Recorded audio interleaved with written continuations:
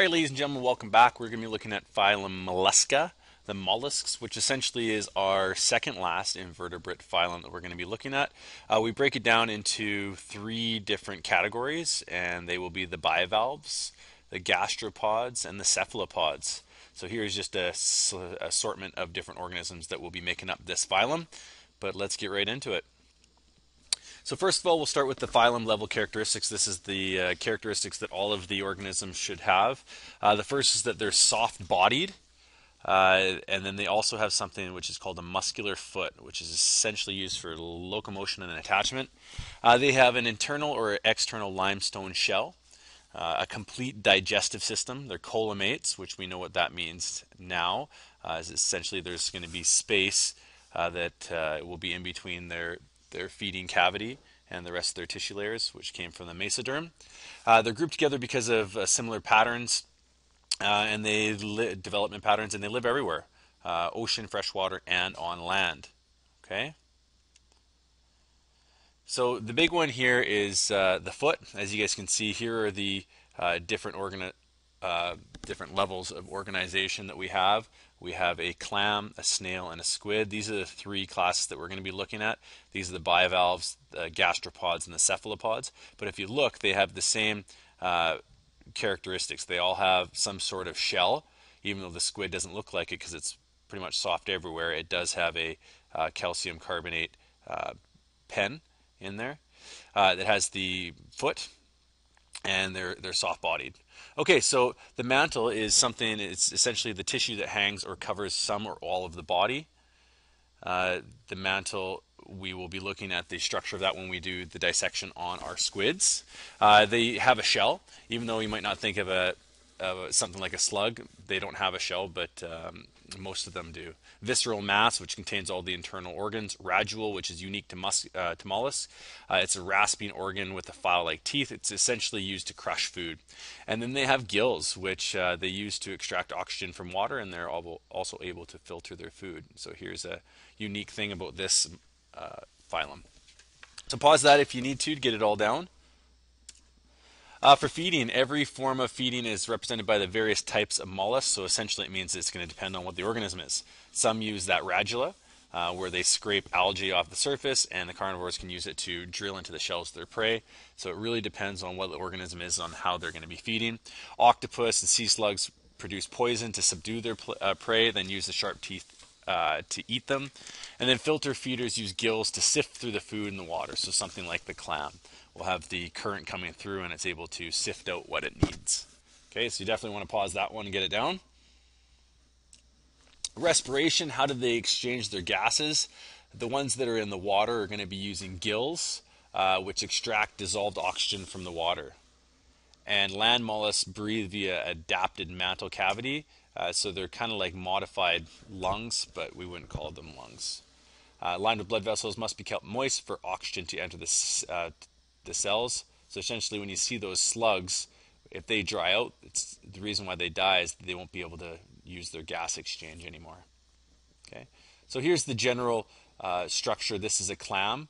We won't have to know everything on here. We're going to look at the details on what we actually have to know for anatomy in class. So pause that and get it down. Circulatory system, slow or moving sessile species are going to have an open circulatory system, which means that they're not enclosed in blood vessels. Uh, it works through body tissues and open spaces called sinuses. The fast moving ones, more efficient, like octopus and squid, are going to have closed circulatory systems. So essentially what it means is they're enclosed in vessels and it's more efficient because it's going to be able to go directly from one spot to the next and it doesn't have to be in just these big open sinuses. Okay, so pause that, get it down. Nice octopus picture, by the way.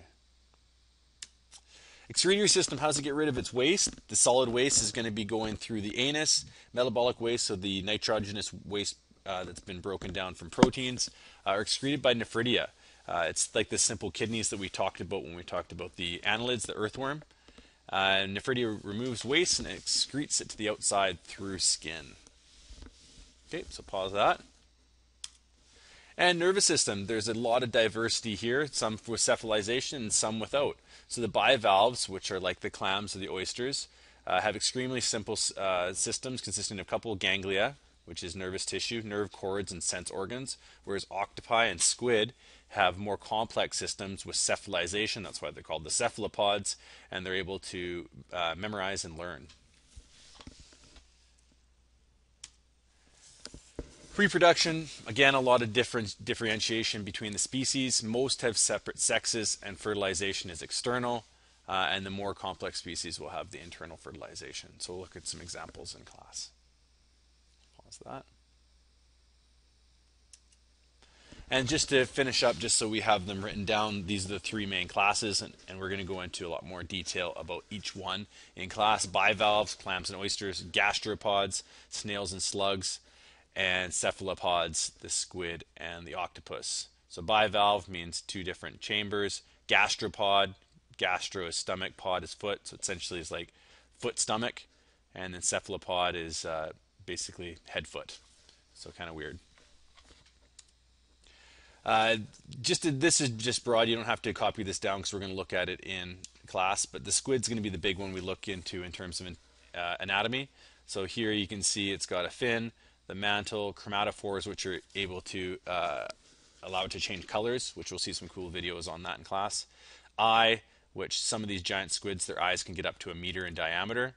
Uh, suction cups, and then these two long tentacles for the squid. And then internal is a lot of detail. So we're going to be cutting one of these guys open to check it all out. So we'll see this in more detail uh, next class. In the next bit, we're going to see a couple of squid. These are squid. Now, males, when they fight, if they're really aggressive, they turn white. And these two males are fighting. They do it by bouncing their butts together, which is an interesting concept. Now, here's a male on the left and a female on the right. And now the male has managed to split his color, coloration so that the female only always sees the kinder, gentler squid in him. and the male's on the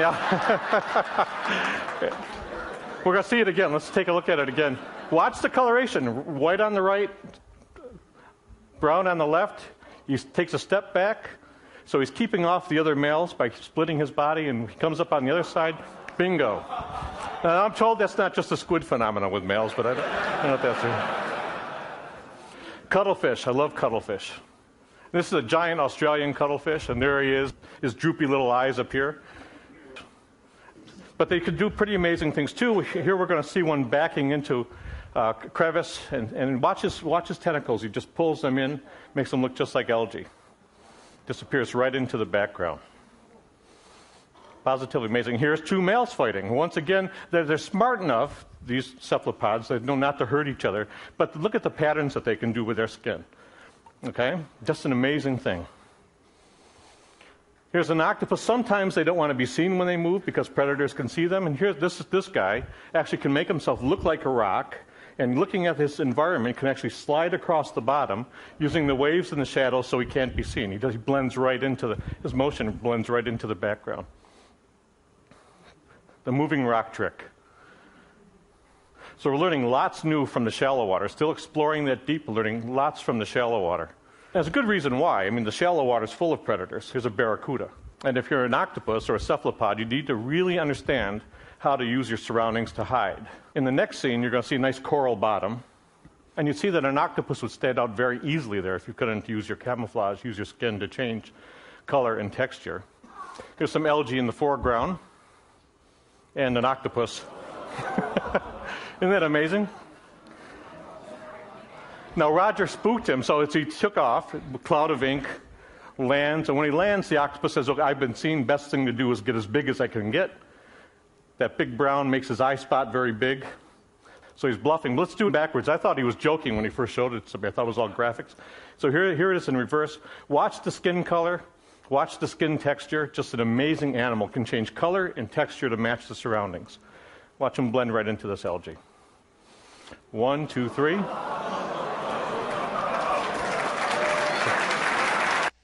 And ecological and economic importance. Uh, as we know, it's it's basically a big food source for us. So clams, oysters, scallops, uh, squid, octopus, all used for food. Yummy, yummy.